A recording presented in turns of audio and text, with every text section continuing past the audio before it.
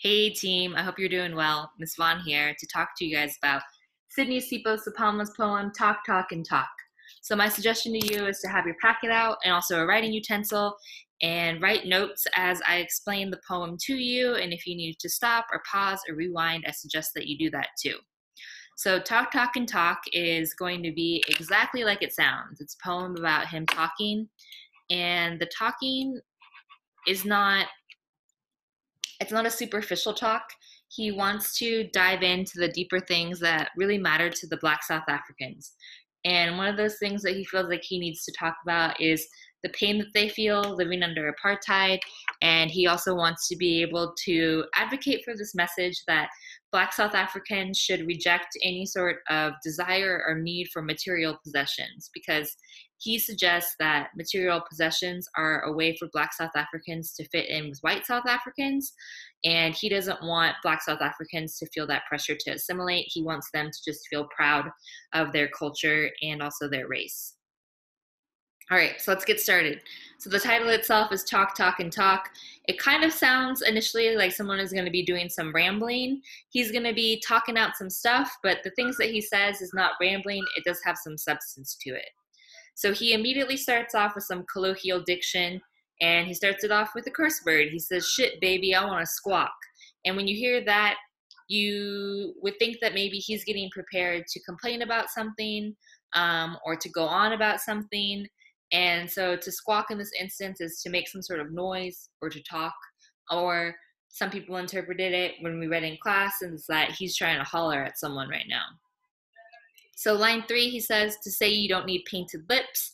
Painted lips is a reference to lipstick or also makeup. And so he says, I don't, I want to squawk to say that you don't need painted lips. So he's telling someone, you don't need to wear lipstick, you don't need to wear makeup. And then the word is missing, but the suggestion is because uh, those lips can bleed your blood. You don't need hair sliding off like that. And for hair to be sliding off, it's a suggestion that this person is wearing a wig and so that would be somewhat annoying to have to fix your hair that's sliding off of your head. And so he's trying to say, don't wear a wig to cover up your natural hair. But he calls it plaited hair. And he says, because a plaited head can do its own thing. So he wants this person, this woman, to be able to do her own thing, wear her plaited hair, her braided hair, not have to feel the pressure to wear a wig, and then also not have to feel the pressure of wearing lipstick. So it's this rejection of these beauty norms that have been reinforced by the white South Africans. He continues and says, Yeah, baby, me and you got to do our own thing sometime. Um, and that's suggestive because if we believe in that second line that he really is hollering at this woman, then for line eight, seven, and eight, you think that when he says we got to do our own thing sometime, that that's maybe suggestive. But then he continues in line nine and he says, like talking more. So he's like, the thing that we got to do more of, it has nothing to do with me being attracted to you or with the beauty that I find in you. Um, it's actually having to do with um, wanting to talk more. And he says, because we got to say those things that make us so much shittish, brothers and sisters. And so shittish is like a play on the word skittish. And he's trying to encourage, now he moves to um, conversational tone where he's talking to more people than just one person when he says brothers and sisters. And he's trying to encourage them to talk about the things that are very painful for them so the things that they're most scared of. And he says it's about time we stop talking between the sleeves of our shirts. So if you imagine talking between the sleeves of your shirts it would be through a whisper and so he's like we shouldn't be whispering to each other anymore we are scared to be heard scared to tell it and tell it more so this is a very human line that he says um, usually, when painful things are happening to us, we are scared to talk about it because we're scared that we're the only one that feels it. We're also scared of being judged. Um, and if we're speaking out about harm that's being done to us, we're also scared of any sort of repercussions that can happen. Um, and so he acknowledges that that we're scared. We're actually scared to be heard, and um, we're scared to talk about it. We're scared to talk about it even more than the little that we already do. He continues and says, We don't dig this dog's life. So he compares their life to a dog's life in that line. And when he says dig, um, dig is like be interested in or to like. It's not like the physical act of digging a hole. He continues and says, Yeah, baby, when you start to bleed sweat, that's the time to go on talking. So again, he reiterates the fact that, or he encourages the Black South Africans that when you are in your most painful stage, that's the time that you have to use your voice. And he says, Sure, baby, I dig my limousine. You dig your diamond ring. So there's two symbols there that are associated with status. One is the lim- limousine, and then the other is the diamond ring.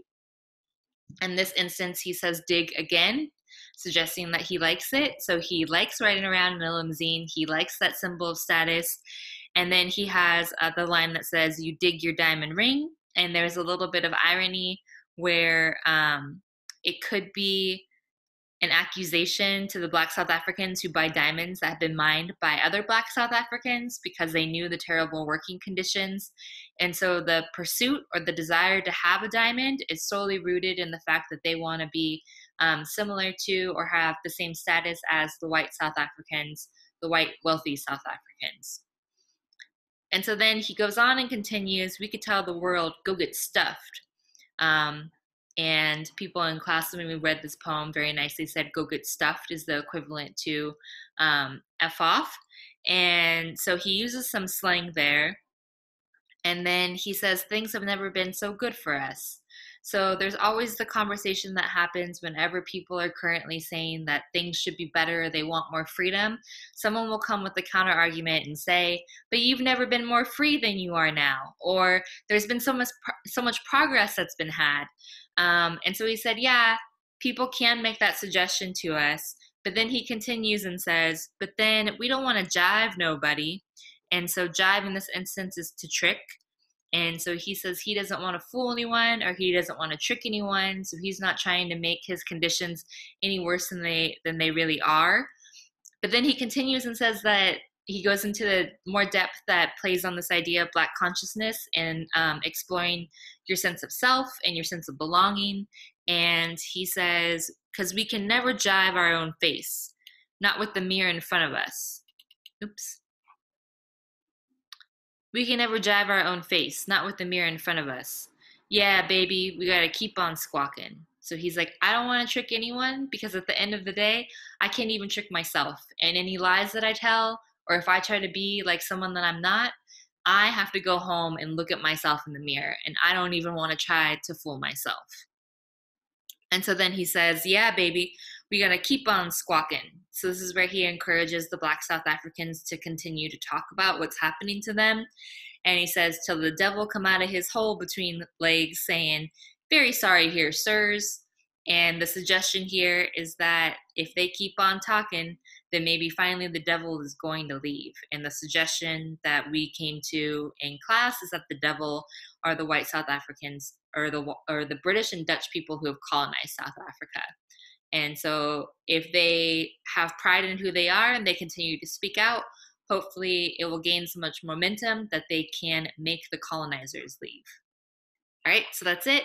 Um, hope that was helpful. Be sure to turn in your annotations after you are done writing them down. Feel free to go back and rewind and rewatch if you need it.